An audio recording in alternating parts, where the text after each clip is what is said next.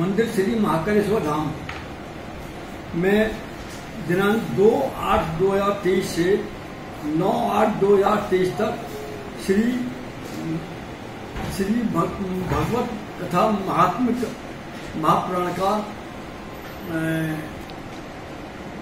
कथावाचक, सरस वक्ता, बाल व्यास श्री कपिल देव महाराज जी के द्वारा भागवत कथा का आयोजन किया जा रहा है।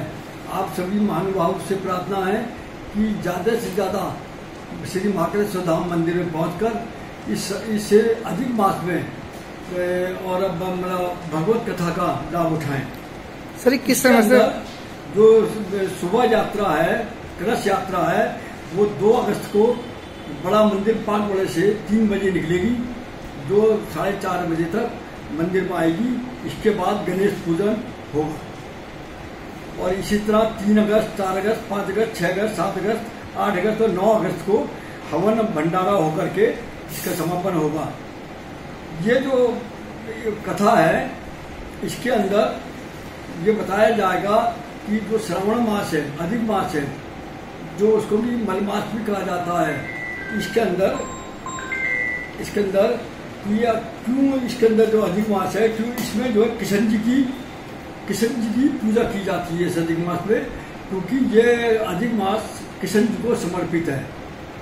अतः महाकालेश्वर धाम की पावन भूमि पर आप सभी लोग, जहाँ चंदन, रुद्राक्ष, अश्वगंधा, पारस पीपल, अनेकों प्रकार के मतलब मतलब जैसे पंच पल्लव है, पारस पीपल है, और लौंग है, इलायची है, रामफल है ये सभी वृक्ष लगे हुए हैं और कल्प वृक्ष जिसकी छाया में ये भगवान शिव अपना आनंद ले रहे हैं। आप भी आइएगा और अपने तन, मन, धन से जो भी है, अपने मन को पावन और स्वच्छ बनाइएगा। धन्यवाद। जय हिंद भारत।